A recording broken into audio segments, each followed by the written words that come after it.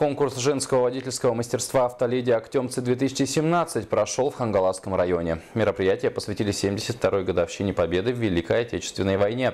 Подробности у Виолетты Засимовой. Колонна автомобилей, украшенных ко Дню Победы, следует по улицам села Актемцы под изумленные взгляды местных жителей, пришедших на парад. Это участницы конкурса «Автоледи Актемцы-2017». Прежде чем отправиться в местность Ортодойду, где проходил конкурс, решили почтить память солдат, воевавших за мирное небо. Цель – пропаганда, э, здоровый образ жизни, э, привлечь э, внимание на женщин-водителей. Пять команд по три человека принимали участие в конкурсе, который состоял из таких этапов, как творческая визитка, экзамен на знание правил дорожного движения, оказание первой медицинской помощи, навигатор – это этап на знание местности и самый зрелищный – мастерство вождения. Как вы относитесь к высказыванию, что женщина за рулем, как обезьяна с гранатой?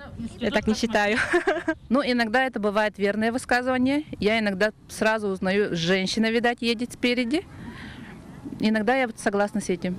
Э, Я совершенно не согласна с этим. Считаю, что водитель – это человек без пола, эм, потому что мужчины и женщины одинаково, кто хорошо водит, и есть кто нет. По итогам пяти этапов лучшей стала команда со звучным названием «Победа». Девушки будут представлять Хангаласский улус на республиканском ИСыХе «Автоледи» в Чурапчинском улусе этим летом.